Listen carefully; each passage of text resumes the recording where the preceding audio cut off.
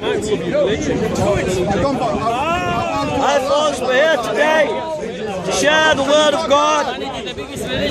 Christ also suffered one sins for sins, the just for the unjust, that he might bring us to God, being put to death in the flesh, but made alive in the spirit. Yeah, that's what Jesus meant. If not able to do you wouldn't, otherwise you're lying. For Christ also suffered once for sins, the just for the unjust. Jesus Christ suffered for the unjust, and he was just. Jesus Christ never lied. He never did anything wrong. He was pure and he was beautiful. And because he was pure and beautiful, he died for the unjust. When they took him in the courtyard and whipped him, he was being whipped for you. When they spat at him and mocked him, he was being spat at and mocked at for you. When he died on that cross and they nailed him to that cross, he was nailed on that cross for you. Oh, the deep, deep love of Jesus, vast unmeasured, boundless free, rolling as a mighty ocean in its fullness over me. And the mighty love of Christ was for you on that cross. No prophet ever did that. The prophet Muhammad never did that. He never died like he did. He died for you and took the wrath that you deserved. Muhammad never died for you. Muhammad never cared for you. He cared for you. He shed his blood for you. He is the Lord that died for you and loved you and shed his blood for you. He was broken on that cross. Muhammad was never broken for you, but Jesus Christ was broken for you. He loved you. For God so loved the world that he gave his only begotten Son, that whoever believes on him shall not perish but have everlasting life. And when Christ died on that cross, he took your punishment. Every time you lied, Every time you stole, every time you slept around, every time you did something wrong, Christ shed his blood for you on that cross and laid down his life for you on that cross and was broken for you on that cross. And the only way that you can be saved, the only way that you can be born again is believing in Jesus Christ. Jesus invites you today. He says, Come to me, all you who are weak and heavy laden and I will give you rest. Take my yoke. He says, Take my yoke upon me and learn of me. For my yoke is easy and my burden is like, Wacky backy can't save you. Why are you smoking wacky backy all the time? Spending your money on wacky backy. Why are you sleeping around? Don't sleep around. Don't be looking at porn. Have you looked at porn this week? Have you been looking at porn? Jesus Christ died for you on that cross. And he shed his blood for you on that cross. He said this, For whosoever calls on the name of the Lord shall be saved. Whosoever shall call upon the name of the Lord shall be saved. If you call upon him today, if you call upon him and say, Lord, save me, he'll save you. When you're lonely, when you're finding it hard, when it's difficult, and you cry out to Jesus, he'll hear your prayer. Muhammad cannot hear you. Allah cannot hear you, but Jesus can. He can hear you because he's the Savior that died and rose again. Jesus loved you. He gave himself for you and he beckoned you, come. Free. Flee from hell. Flee from the wrath of God. Flee from the judgment to come. There is a hell, a judgment, a punishment, a wrath, a hell to escape, a judgment to escape. Flee it, my friend. Flee it. Turn away from hell. Turn away from judgment and turn to Christ and trust Him. Trust Him as your Lord. Trust Him as your Savior. Oh, please believe Him. Please don't go to hell. You're going to go to hell if you keep lying, if you keep stealing, if you keep committing adultery, if you keep looking at porn, if you keep lying, if you keep stealing. You're cursing the name of God by worshipping Allah. You worship Jesus Christ. You're blaspheming God when you worship Allah. But worship Jesus. Every tongue shall confess that Jesus Christ is Lord. He is Lord. He is the King of kings and Lord of lords. So trust Him as your Lord and trust Him as your Savior. Only He can save you. Allah is death. Allah is blind. Allah is dead. Jesus Christ is alive. He is the King of kings and the light of the world. He is the bread of life. He is the King of kings. Allah is dead. Allah is blind. Allah is not God. Jesus is God. Jesus died and rose again. You blaspheme God by worshipping Allah. You worship Jesus Christ the Savior. You worship Christ as Lord. You blaspheme God by following Muhammad the Prophet. You follow Jesus Christ, the King of Kings and Lord of Lords. Here's the one that died. Here's the one that rose again. Here's the one that can save you. Prophet Muhammad is dead. His bones are in the ground. Buddha is dead. Charles Darwin is dead. All the great atheists are dead. But Jesus Christ is alive. He can save you today. He can give you life today. He can give you purpose today, joy today. Allah is dumb and deaf and blind. Allah is dead. But Jesus is alive. Jesus is alive. He is alive today. Alive, reigning, and he's coming back. So get ready, my friends, and trust him today. Trust him as your Lord. Trust him as your Savior. Muhammad is a false prophet. Allah is blind. He is deaf and he is dumb. And God is the true God, Jesus Christ the Savior. He died and rose again. He is the King of kings and Lord of lords.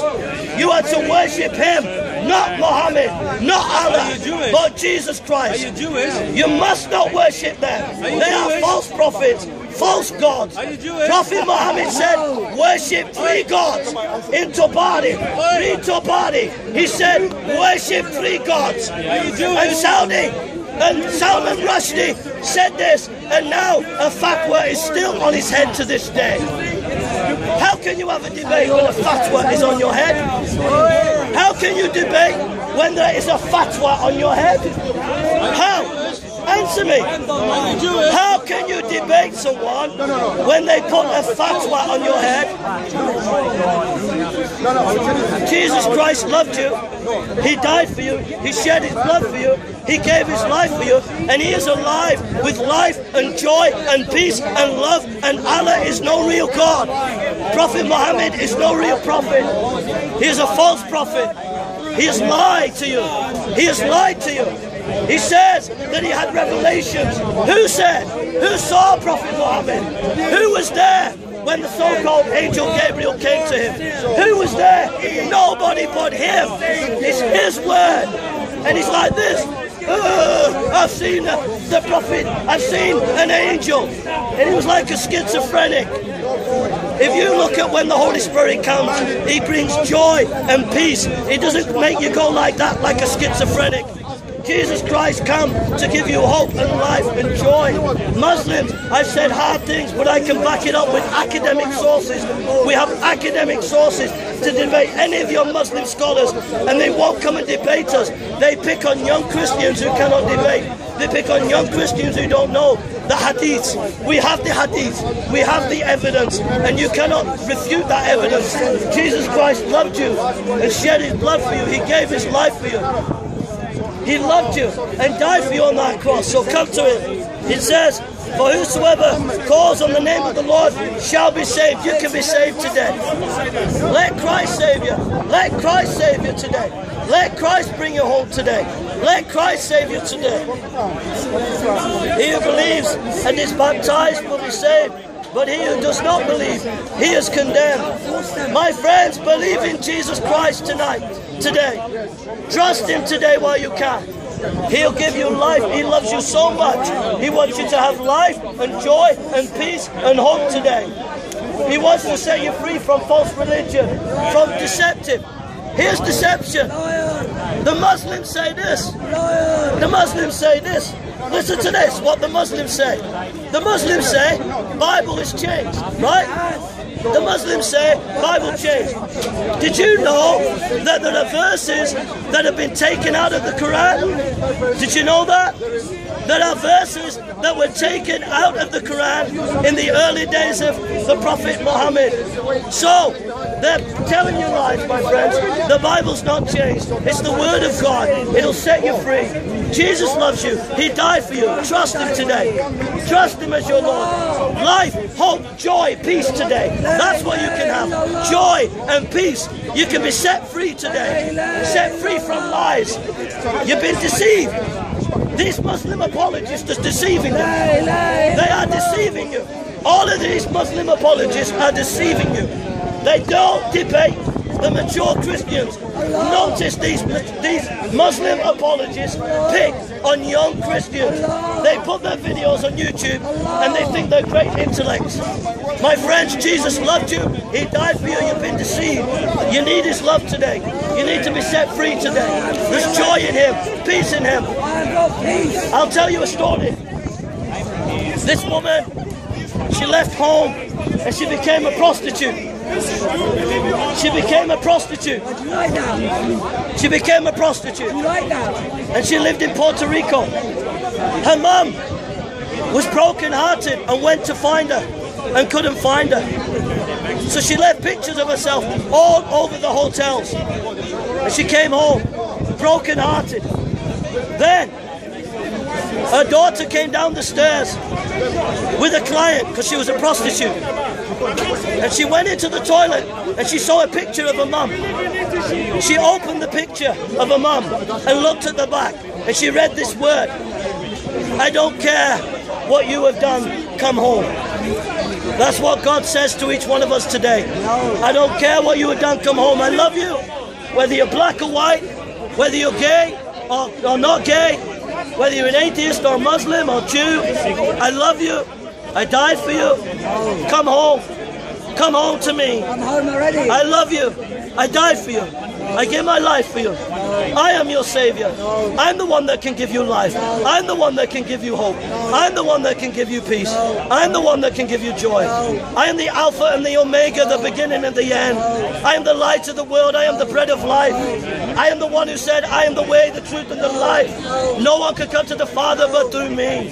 I am the Savior who loved you and shed his blood. I am God with us. Who is Muhammad? Muhammad is dead. He is dead. His bones are in that ground and he cannot hear you. He cannot save you. But my Savior died. My Savior died and rose again. He died and rose again. And we have the evidence for you. Okay? Let's have a debate then, sir. Let's debate me and you. Come and debate me, sir. Come and debate. Let me give ask you a question, sir. Oh, he's frightened now.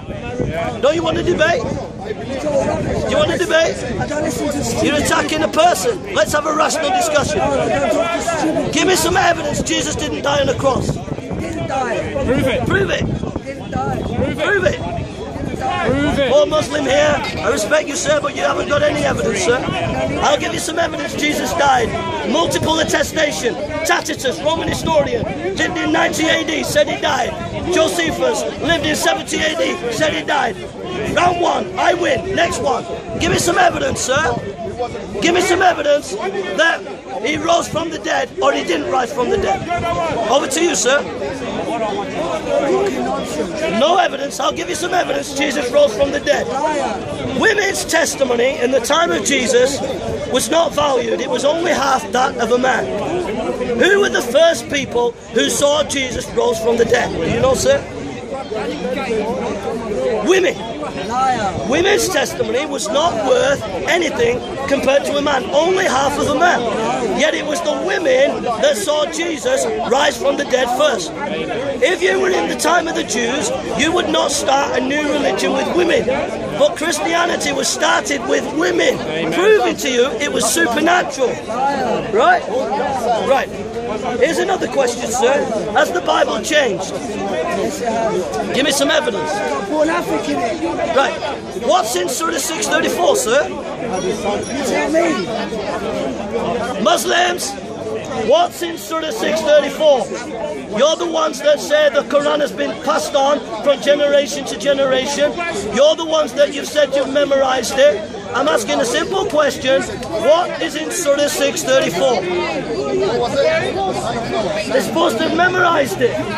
They don't even know what is in Surah 634. In Surah 634, it says, My word does not change. And it's in the context of prophets. We have some more surahs here. Surah 29, 46 says we believe in what was revealed to you us. Surah 18, 27 said none can change his words, so Bible can't have been corrupted. Surah 568 says Christians must stand on the gospel and Torah. Surah 7, 157 says Muhammad is in the Bible. How can this be if the Bible has been changed? Surah 334 says Bible is revealed by God, so how can that be if man has changed it? So even in your own Quran, it says the Bible has not changed. You've been deluded, my Muslim friends.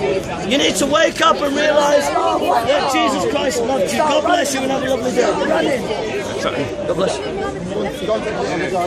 Start running if you say Allahu Akbar. Start running. I'm not scared of God. He's false. No, it's not false. False God. No, it's not.